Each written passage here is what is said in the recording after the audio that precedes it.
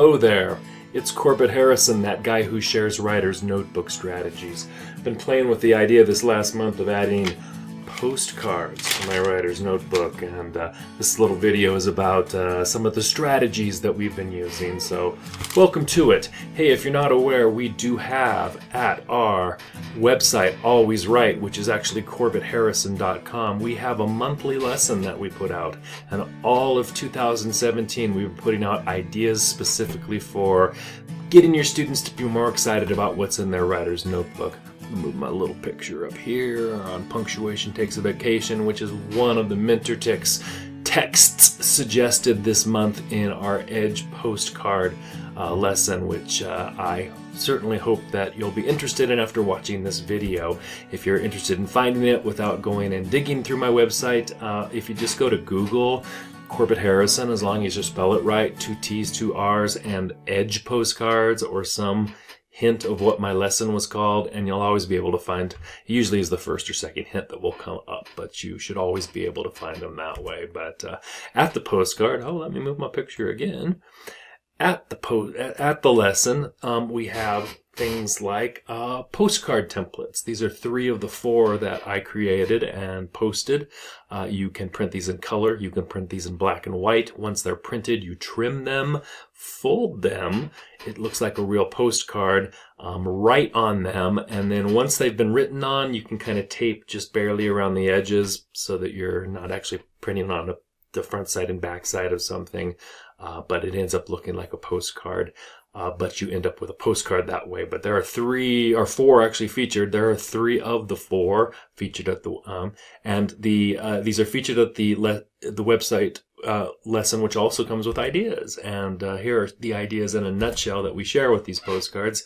The idea of spending a day or two, you know, I have to use this postcard. I wonder what I can spend the next day or two writing that would somehow involve a postcard. So starting from a fresh blank page um, is one of the ideas that we suggest. Um, and then somehow incorporating a postcard on day one or day two as part of the piece of writing that's taking shape inside the writer's notebook. That's one idea that we share at the lesson online here called Edge Postcards.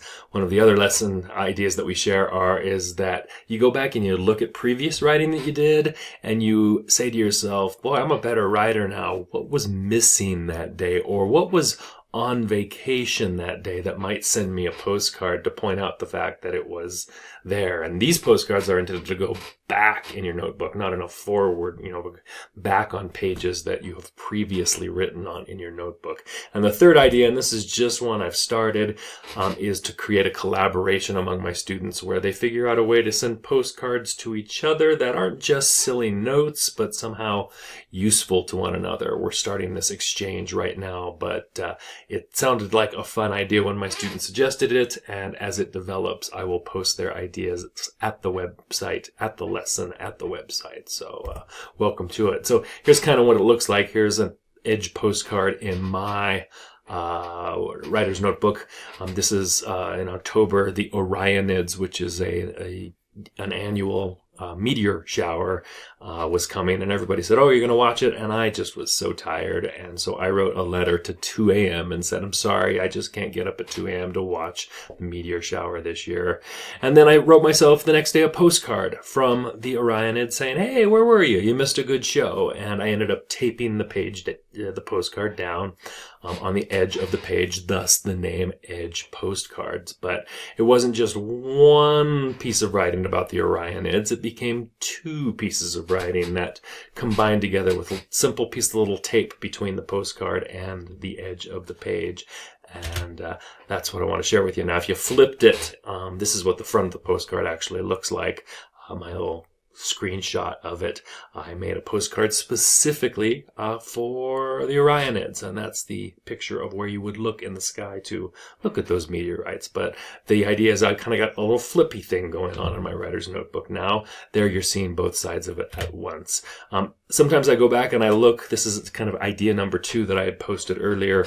Uh, sometimes I go back and I look for pages where I liked what I wrote, but I didn't necessarily have time to be visual that day. I think it's fine to not be visual in your notebook. And so here is me showing how to be visual. This is that page, all right? I took that page, I took what I wrote on the right-hand side about the change of weather, and I decided to write myself a postcard um, from the oncom the, the weather that was uh, coming towards us. And so um, I ended up taping the postcard down after I had written on it, right on the edge where you're seeing it. Uh, that is the exact tape that I used, if that happens to be of interest to you. But here's what I learned in doing this. You tape, and you don't want your tape to go beyond the edge of the actual postcard. Um, sometimes you're tempted to pull off too big a piece of tape and go beyond so that thinking it will really hold it down better.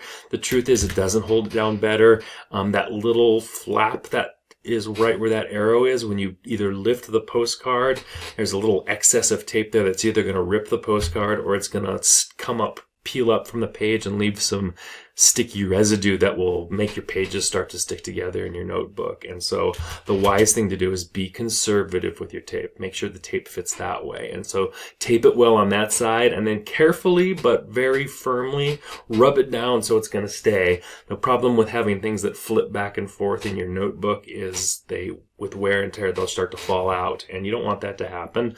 And then here's the opposite side, and there you can see um, my notebook has written me this letter or this this this postcard. Um, I taped it down on one side. Now here's if I was taping it down on this side, my piece of tape would go kind of right there. Again, being conservative, not going beyond. You know, that's the scope of the lesson idea that we posted for November at our website, and uh, we are just looking for ways this whole year to get students more excited about their writer's notebooks. Um, I enjoy sharing my writer's notebooks, and now my students are starting to see all of these flippy things like um, postcards popping up all over the place, and that interests them to do similar ideas in their notebooks. We have postcards um, from the edge of our writer's notebook pages now, uh, that's just one more suggestion. Hey, come visit us at Always Write anytime. Uh, we have great ideas for not just writer's notebooks, but for, for vocabulary and for all, and mentor text. All sorts of great ideas to help you help your students enjoy the process of writing just a little bit more. Have a great day, everyone. Thanks for visiting. Bye.